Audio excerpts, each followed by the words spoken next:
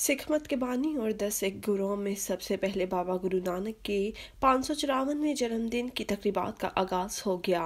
गुरुद्वारा दरबार साहिब करतारपुर की इंतजामिया के मुताबिक करतारपुर राहदारी से भारत से सिख यात्रियों की आमद का सिलसिला जारी है।